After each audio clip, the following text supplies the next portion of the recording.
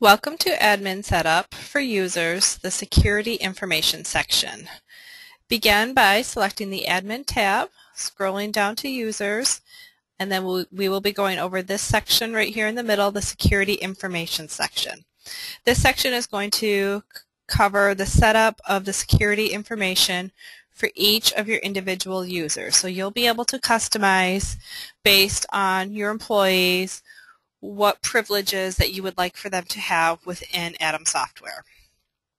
So the first one, for minutes allowed to punch in early, this is this applies if you are using Atom's punch clock. If you would like to put in a, a control for how early an employee can punch in, so for an example, if the employee's work schedule is set from 9 a.m. to 5 p.m., and if we put a 5 here, that means that they are only allowed to punch in 5 minutes early. If this employee happened to punch in at 8.45, if they punched in 15 minutes early, it's automatically going to adjust it and have them only punch in 5 minutes early. And the same thing works for minutes allowed to punch in late. If you want your employee to not be able to punch out late, then if you again put five minutes here, if they punched out at 5.15, Atom's going to adjust it and automatically punch them out at 5.05. So that's just a little bit of an extra control related to the punch clock if that's something that you needed. If it's left blank, then the employees um, are able to punch in or out at any time regardless of what the work schedule says. The next one for email assigned task or events, if this box is checked, then anytime this employee, this user, has an email, um, has a task assigned to them, or a note assigned to them within the events, it's automatically going to go into go here also. So whatever is entered into this email field, whether it's a personal email or a cell phone number, then they would receive a, a text. So if, if you're not in the office, but you still want to be notified when things are assigned to you, if you check, check that box, then those events will be assigned to you. And the same thing will happen for email system messages. So anytime, if this box is checked, anytime you get a message within Atom, and if you want that to be notified of that in your personal email or cell phone, you can check that box. And then again, you're not in the office, you can still kind of keep track onto what's going on in the office if there's something that you needed to address. This comment section this would be if you have any, just any notes related to the employee that you wanted to be to keep track of and only the administrator can see these notes. So if you type something in here, the employee will not even be able to see their own notes unless they have admin rights within the system. The next one is for appoint, appointment notification type. This is if you would like to be notified when someone schedules an appointment for you. Again, it's going to go into your to your messages. You would get an, a system message within Atom, and then if you have this box checked, you're also going to get it into whatever is in this email field. So the choices here, if I want just my appointments that are requesting me as a preparer, I would choose this one. If I want just any appointments that are scheduled under my name, whether they're requested or not, so all my appointments would, would show everything. The non-requested appointments is going to show the ones that just are scheduled but don't, don't necessarily request me. If I would like to see all the appointments that are scheduled for all of my sites, I could choose that one. Or if you would like to see all the appointments for all of your sites. So that means every time any appointment is scheduled, you're going to get notified of that. Probably the one that's going to be used most is going to be the My Requested Appointments. I just want to know when somebody requests an appointment and they want to see me. But if you would like to have more options and see more appointments, you do have that availability here. For login screens allowed, Atom allows for either a normal login or a user portal login. If you choose the user portal login, that's restricted, and that means if somebody logs in, they do not have client access. They are able to do things like check their messages and their work schedule, um, but they do not have access to your clients. So that's probably, you know, if your employees are checking work schedules and things from home, you may want them to use the user portal login so they don't have access to your clients. The normal login does give them full access to whatever their security settings are set on this page. Probably one of the other only times that you would really need to use or want to use the user portal login would be for bookkeeping. If you happen to have some of your bookkeeping clients and they are using Atom as a punch clock, you would want to set them up as just the user portal login so that they would have access to your punch clock, but they wouldn't have access to your clients. Okay, next is employee hour edit permissions. You can choose for each individual user if they if you want them to not be able to adjust any hours on the punch clock, or they can adjust their own hours on the punch clock. They can adjust all the entries on the punch clock or entries for just the particular site. So if you have, for say, an office manager at a different site and you want them to be able to adjust their employees' hours for that location. Otherwise, only the administrator does have access to adjust hours on the punch clock.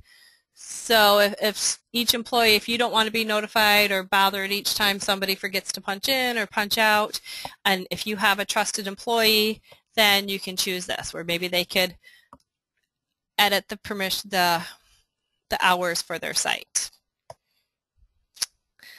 Uh, signed by default for client portal emails.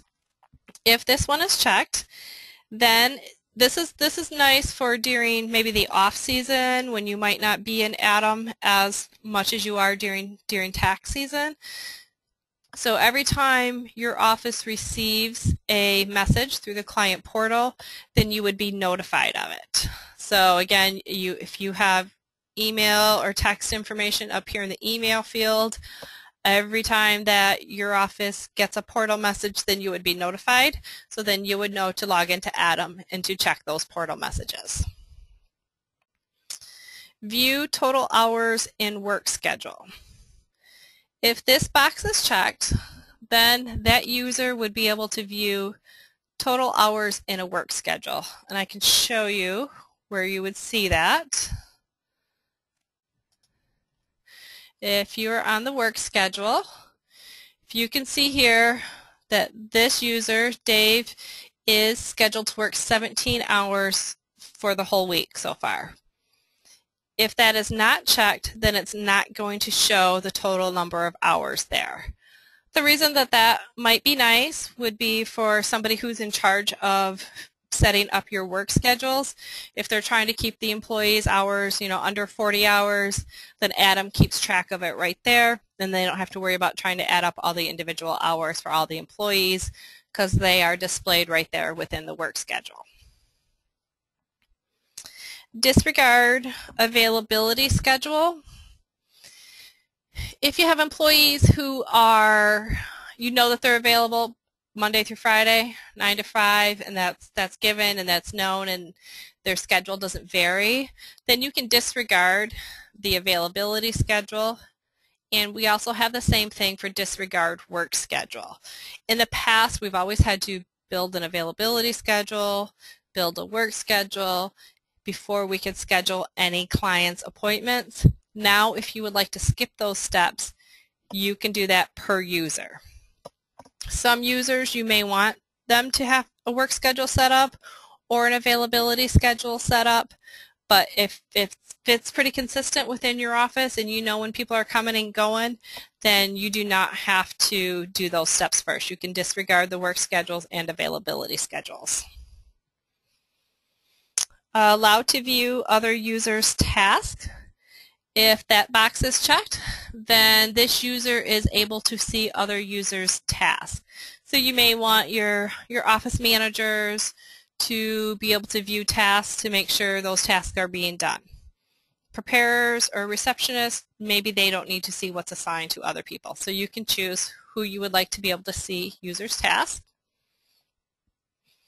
Allow event modification. Again, you know, you kind of want to be careful probably who you want to allow to modify or edit or delete events. Um, because if they are deleting things or modifying events that you don't want them to do, you have to sort of be careful of that. So if you are in a client's file, grab a client here. So let's say we moved this client to cashier and we saved it. Oh, fill up preparer here.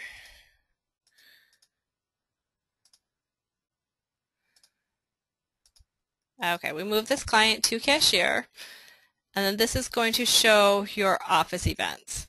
So only those people who you've checked that box to allow event modification will have this edit pencil. If they do, if you don't check that box, they won't have this edit pencil and they will not even be able to modify these events. You know, maybe maybe I wanted to change the status of this one. It wasn't really the lobby. It's really supposed to be today's office task. I can change that. But that might not be something that you want to give permission for all of your users to do. Okay, the next one is going to display lobby record count on header.